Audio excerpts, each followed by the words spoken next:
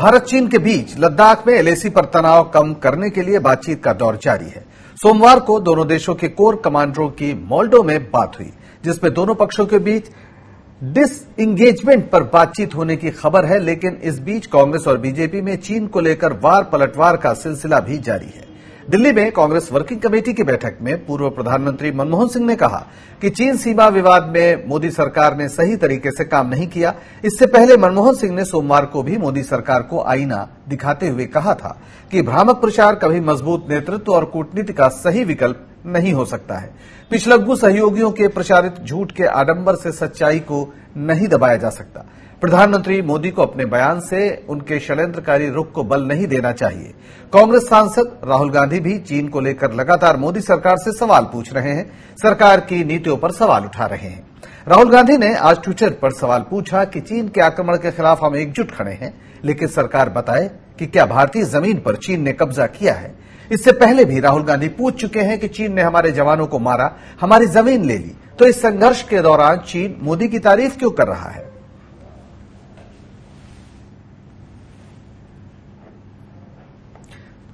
तो ये ट्वीट है, राहुल गांधी का, चीनी आक्रमण के खिलाफ हम एकजुट खड़े हैं, लेकिन क्या भारतीय ज़मीन पर चीन ने कब्जा किया है? राहुल गांधी का ट्विटर पर यह सीधा सवाल। जवाब आया बीजेपी अध्यक्ष जेपी नड्डा की ओर से। उन्होंने राहुल गांधी के सवाल का सीधा जवाब तो नहीं दिया, लेकिन निजी हमला ज़रूर किया। नड्डा ने कहा कि कांग्रेस पार्टी पहले चीन की कम्युनिस्ट पार्टी से समझौते करती है और फिर देश की ज़मीन चीन को सौंप देती है। वहीं पूर्व प्रधानमंत्री मनमोहन सिंह के बयान पर भी पलटवार करते हुए बीजेपी अध्यक्ष जेपी नड्डा ने कहा कि ये वही कांग्रेस है जिसने चीन को भारत की तिरालीस हज़ार वर्ग की भी ज़मीन सरेंडर कर दी थी। नड्डा ने कहा कि मनमोहन सिंह के कार्यकाल में 2010 से 13 के बीच चीन ने 600 बार घुसपैठ की थी। इस पर बीजेपी अध्यक्ष नड्डा को जवाब देते हुए कांग्रेस नेता और पूर्व केंद्रीय मंत्री पी चिदम्बरम ने मोर्चा संभाला। चिदम्बरम ने ट्वीट करके कहा, हाँ, वहाँ पर घुसपैठ हुई थी, लेकिन चीन ने किसी भी भारतीय क्षेत्र पर कब्जा नहीं किया था और हिंसक झड़पों में भारतीय सैनिकों की जान नहीं गई थी।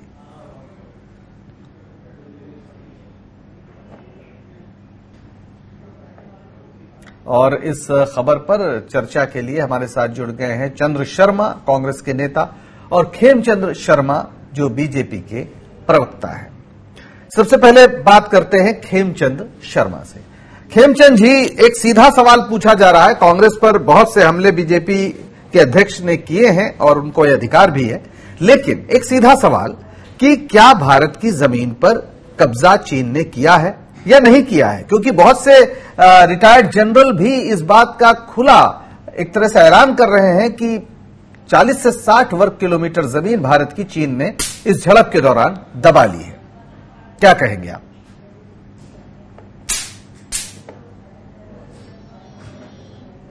और लगभग तैतालीस हज़ार किलोमीटर ज़मीन भारत की चाइना ने दबाई। और ये सभी जानते हैं। और लगभग 600 बार 600 बार जब यूपीए टू था 2010 से लेकर तेरह तक चाइना ने कोशिश किया और कई सौ किलोमीटर ज़मीन को भारत की को हेमचंद जी हम इतिहास नहीं वर्तमान की बात कर रहे हैं। आज की बात ये बताइए सीधा सवाल है कि गलवान घाटी में जो हुआ क्या वहाँ पर आज चीन ने आपकी मतलब हमारी भारत की ज़मीन कब्जा किया है? उसने या नहीं किया सीधा जवाब। सवाल आप मेरे को आपसे अनुरोध है हाथ जोड़ के अनुरोध है आप मेरे को आधा मिनट दीजिए।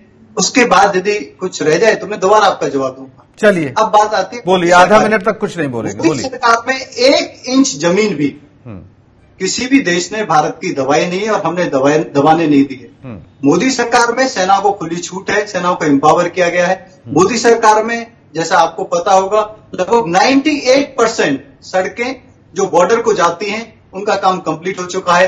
आप तेज़ी से जो हैवी इक्विपमेंट है आर्मी के इक्विपमेंट है वो बॉर्डर तक पहुँच सकते हैं। आपने देखा किस तरीके से हमारी सेना ने चाइना को जवाब दिया? यानी यानी खेमचंद जी खेमचंद जी आपकी बात आ गई। मैं फिर आ, आप आपको फिर फिर पाऊँगा आपके पास। आपके पास फिर आऊँगा खेमचंद जी इसलिए सवाल सुन लीजिए। सवाल सुन लीजिए मैंने एक मिनट आपको दिया मैं दोबारा आपके पास आऊँगा। मैं ये पूछ रहा हूँ कि आप बिल्कुल ठीक कह रहे हैं कि हमारी एक इंच ज़मीन नहीं गई बिल्कुल बहुत अच्छी बात है। तो क्या हमारे जो 20 जवान शहीद हुए हैं वो चीन की ज़मीन पे गए थे? कहाँ शहीद हुए वो? ये नहीं होता, इसका मतलब मैं क्या कह रहा हूँ फिर से? एलएसी एक बहुत बड़ा क्षेत्र है। एलएसी का कुछ ऐसा क्षेत्र है जहाँ पे चीन भी पेट्रोलिंग करता था, भारत भी पेट्रोलिंग करता था। वहाँ पे चीन ने अपने कुछ टेम्परेरी, आपने देखा स्ट्रक्चर स्थापित करने की कोशिश, उससे भी ज़्यादा। जो नदी है, जो बॉर्डर पे एलएसी, जहाँ पे कंफ्लिक्ट हुआ, वहाँ पे भारतीय सेना पुल बना रही थी। और उस पुल को ना बनाने देने के लिए चाइना ने पूरी ताकत लगाई। आपने कल देखा होगा अमेरिका ने भी एक रिपोर्ट जारी की कि उनकी जो साजिश थी बहुत पहले से उनकी प्लानिंग थी और चीन की चीन की साजिश से किसी को इनकार नहीं है। सवाल यह है खेमचंद जी वो बिल्कुल सही है आप सही कह रहे हैं लेकिन सवाल ये है कि हमारे सेना के बहुत से रिटायर्ड जनरल कह रहे हैं कि जो एलएसी फिंगर एट पर थी वो फिंगर फोर पर आ गई है और ये एक महत्वपूर्ण मामला है। चंद्र शर्मा जी कांग्रेस के नेता हमारे साथ है। चंद्र शर्मा जी खेमचंद जी जो प्रवक्ता है बीजेपी के वो तो मानने को बिल्कुल तैयार नहीं है तो आप लोग ये बात क्यों नहीं मान लेते कि कोई ज़मीन चीन के कब्जे में नहीं गई है?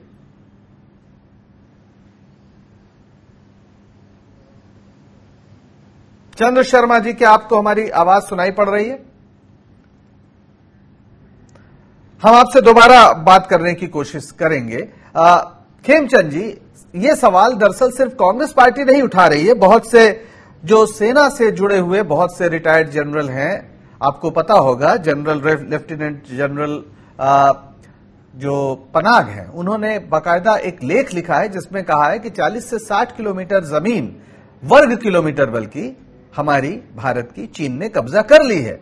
और जिस तरीके के तथ्य सामने आ रहे हैं, फिंगर आठ तक हमारी पहले पेट्रोलिंग होती थी, हम एलआईसी वहाँ तक मानते थे, और अब फिंगर फोर वहाँ पर हमें रोक दिया जा रहा है। तो क्यों ना माना जाए कि आप जो कह रहे हैं, उसमें सत्य नहीं है।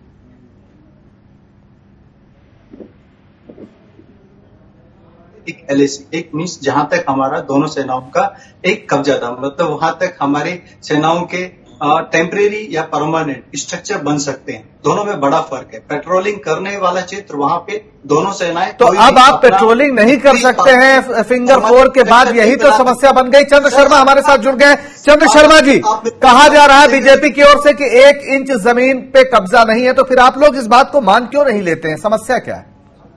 देखिए हम तो मानने को तैयार हैं कि एक इंच ज़मीन पे कब्जा नहीं है हम्म। लेकिन बीजेपी के जो हमारे देश के जो प्रधानमंत्री हैं हम्म। वो अपने वक्तव्य में और जो रक्षा मंत्री है उनके वक्तव्य को अगर आप देखेंगे तो फिर मानने को दिल नहीं करेगा क्योंकि तो जब हमारे देश के गृह मंत्री राजनाथ सिंह जी जब एक वक्तव्य देते हैं और कहते हैं कि चीन ने घुसपैठ कर दी है और उनके काफ़ी सेना अंदर आ चुकी है और उसको डिनाई करने के लिए जब विदेश मंत्री उन्हीं के साथ इसी स्वर में बात करते हैं और उसके बाद देश के प्रधानमंत्री जब सर्वदलीय बैठक में बैठते हैं तो वो कहते हैं कि देश के अंदर किसी तरह की घुसपैठ की हुई कोई भी हमारी सीमा पे नहीं आया।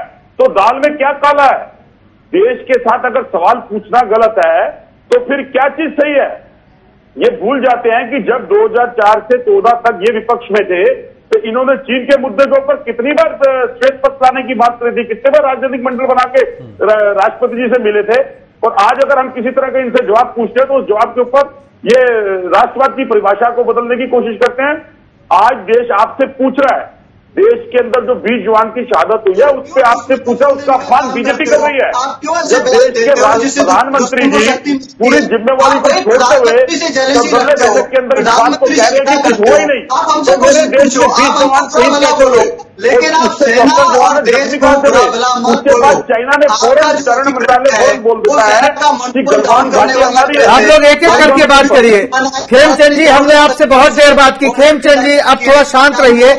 खेमचंद जी आपसे बहुत से सवाल लिए। अब थोड़ा उनको भी सुन लीजिए। थोड़ा सा धैर्य आप भी रखिए। आप जब बोल रहे थे तो किसी ने टोका नहीं उन्होंने टोका नहीं तो उनका भी आप सम्मान करिए। नहीं नहीं आप आप थोड़ा सा शांत रहिए उनको भी सुन लीजिए कांग्रेस के प्रवक्ता को भी बोलने दीजिए आपको लगातार हमने समय दिया। जी बोलिए चंद शर्मा जी। देखिए इनका कोई कसूर नहीं है जो आज जो पार्टी शुरू से विपक्ष में रही हो तो उनको आदत है वो आपकी इस सिस्टम को सुनने की आदत नहीं रखते हैं लोग। आइए भूल जाते हैं कि देश की सत्ता आज आपके पास है प्रचंड बहुमत के साथ दूसरी बार देश की जनता ने आपको सत्ता दिया है। आप जिस दायित्व पर जो आप सिक्के के दो पहलू की पार्टी आप थी। आपकी नीति दो तरह की है। एक नीति हुआ जो विपक्ष होने के नाते 2004 से लेकर 2014 तक यूपीए सरकार के अंदर जिस तरह के आपके तर्क वितर्क जो हमारे माननीय प्रधानमंत्री चीफ मिनिस्टर हुआ करते थे और आपके जितने रक्षा मंत्री और ये सब उस तरह की तर्क की जो भाषा थी, वो वाणी सत्ता में आने के बाद बदल गई। आपके अगर इन तर्कों को देखे जाए तो रुपए के एक पहलू के दो सिक्के मिल जाएँगे। एक तरफ़ सिक्का की वैल्यू लिखी होगी, एक तरफ़ शेर का निशान लिखा होगा। तो वैल्यू नाम की चीज़ तो बीजेपी के पास है ही नहीं। शेर का निशान मेरे भारत देश का है, वो अमर है अचर रहेगा। उसका सम्मान हम भी करते हैं, हमारे देश का सेनानी भी करता है। अगर देश के अंदर आज सेनानी ना होता, सेनापति ना होता, और सैनिक ना होता तो ये सोई हुई सरकार की घुसपैठ, चाइना की आज इतनी आगे हो जाती कि हम कहीं के ना रहते। और उसके बाद उसको आप मुझे ये बात बताइए बीजेपी के प्रवक्ता से पूछना चाह रहा हूँ। कि आप अपनी पार्टी के शीर्ष नेतृत्व में प्रधानमंत्री जी को सही कहते हैं तो फिर गृह मंत्री जी को गलत कहिए और आपने डिफेंस मंत्री को गलत कहिए। क्योंकि तीन वक्तव्य जो बड़े नेता हैं शीर्ष नेताओं के उनके वक्तव्यों में मुझे आप समान में बैठा के दिखा दिए देश की जनता को आप ये बताइए खेमचंद जी से पूछ लेते गलत है। खेमचंद जी आपका जो देश का शीर्ष नेतृत्व है रक्षा मंत्री राजनाथ सिंह ने साफ़ कहा था कि चीनी सैनिक घुस आए हैं। ये एक सच्चाई है। और दूसरी तरफ़ यह भी सवाल आता है प्रधानमंत्री की ओर से कि हमारी एक इंच ज़मीन पर भी कब्जा नहीं हुआ, जबकि 20 सैनिक शहीद हुए। ज़ाहिर है इसकी चर्चा पूरी दुनिया में हुई और चीन ने खुद कहा कि देखिए, भारतीय प्रधानमंत्री भी यही बात कह रहे हैं। ऐसे में सवाल जब उठता है तो आप सीधे कह देते हैं कि सेना पर सवाल ना उठाइए। परंपरा रही है, आपको याद होना चाहिए कि लगातार जब उन्नीस सौ बासठ में जब युद्ध हो रहा था, उसके बीच आपके एक बहुत बड़े नेता जो बाद में प्रधानमंत्री भी बने, अटल बिहारी वाजपेयी, न सिर्फ़ सड़कों पर जुलूस निकाल रहे थे, बल्कि उनकी कड़ी मांग के बाद 9 नवंबर उन्नीस सौ बासठ को राज्यसभा की बैठक भी बुलाई गई थी। युद्ध के दौरान तो सवाल उठाना, सरकार पर सवाल उठाना, जवाब मांगना, सेना पर सवाल उठाना कैसे हो जाता है? आप, आपसे अनुरोध है, आप मेरे को एक मिनट तक इंटरप्ट नहीं करेंगे। आपके भी काफ़ी मूल्य सवाल है और हमारे कांग्रेस के मित्र के भी काफ़ी सवाल हैं। ठीक है बोलिए एक मिनट तक कुछ नहीं बोला मिनिस्टर ने क्या बोला हमारी एक भी इंच ज़मीन पे चीन का कब्जा नहीं हुआ। इसका मतलब नहीं हुआ। कंफ्लिक्ट हुआ मतलब उन्होंने जहाँ पे हम दोनों पेट्रोलिंग करते थे वहाँ पर उन्होंने अपनी हरकतें की। उन्होंने हमारे पुल को रोक पुल के काम को रोकने का काम किया। उन्होंने हमारी सेनाओं पे अटैक किया। हमारी सेनाओं ने ज़बरदस्त जवाब दिया। हमारी सेनाओं ने लड़ते लड़ते चाइनीज़ को मारा और ये रिपोर्ट्स आ रही है कि हमारे सैनिक संख्या में कम थे, लेकिन फिर भी चाइनीज़ सैनिकों का नुकसान ज़्यादा हुआ। चाइना को पीछे हटना पड़ा, चाइना को अपना जो स्ट्रक्चर उन्होंने टेम्परेरी बना रखा था, वहाँ से हटाना पड़ा। हमारी सेना की जीत, नंबर एक।